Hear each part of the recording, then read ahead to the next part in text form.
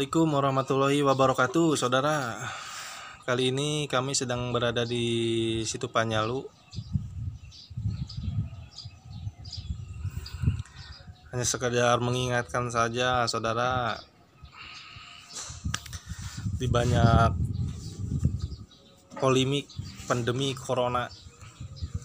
Apa solusinya?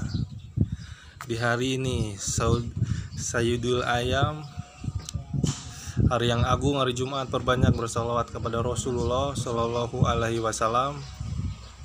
Perbanyak bersedekah perbanyak beristighbar sebentar lagi asar tiba di hari asar. Doa mustajab sebelum terbenamnya matahari perbanyak berdoa kepada Allah Subhanahu wa taala. Mudah-mudahan pandemi ini segera berakhir dan Amin. kita semua bisa kembali berjumpa bersama keluarga lagi Amin. bisa silaturahim lagi Amin. Walau alam bisawab. Assalamualaikum warahmatullahi wabarakatuh.